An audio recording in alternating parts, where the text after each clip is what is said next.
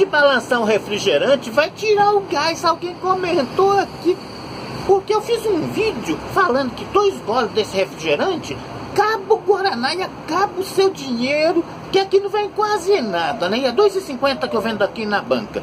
E alguém falou assim, devia ser dois reais, um, um real cada gole. E eu respondi também num outro vídeo falando assim que é, é um real cada gole também pode ser, mas 50 centavos é o preço da garrafa vazia que eu cobro. Aí você paga 50 centavos na garrafa vazia e manda a garrafa pro Beleléu. Dispensa a garrafa, joga fora, né? Então é assim, eu tava balançando o Guaraná num desses vídeos, ou nos dois, não sei. Então a pessoa falou, para que vai acabar o gás, o gás do Guaraná não vai acabar não.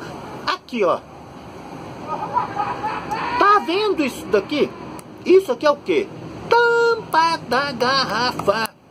Pois é. Então, isso aqui pode balançar durante um mês direto. Um mês direto não, que vai acabar derretendo a garrafa. Mas o gás não vai acabar de balançar assim. Pelo menos uns pouco de tempo assim, não. É cada coisa, né? Cada coisa.